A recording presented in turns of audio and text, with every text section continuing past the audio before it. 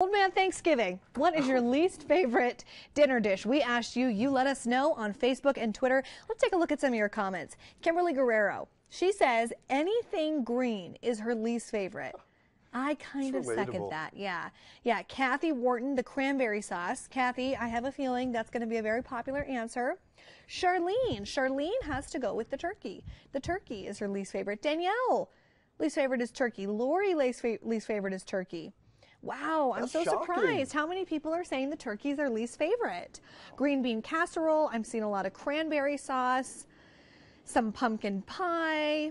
I'm just surprised, Joe, that we're seeing so many turkey answers as the least favorite Thanksgiving dish. I get it, though, because have you ever had turkey and it's dry? Yeah.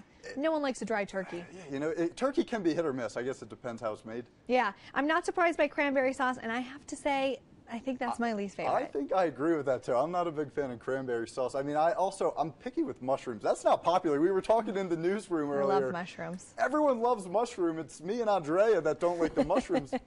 Maybe I'm doing it wrong. Maybe I got to try them prepared differently. Well, I think it makes sense to have the least favorite be cranberry. I will tell you my favorite yeah, is the this. day after. The roll, the, the turkey, the mashed oh. potatoes, oh. the leftovers as a sandwich. That's what I'm looking forward We've to tomorrow. We've been showing this food all day. I am so hungry. I can't wait. We're almost done here. It's almost time. 11 minutes. We'll get some food. Thanks so much for chiming in. We're hoping you're having a wonderful Thanksgiving. We'll see you back here in just two minutes.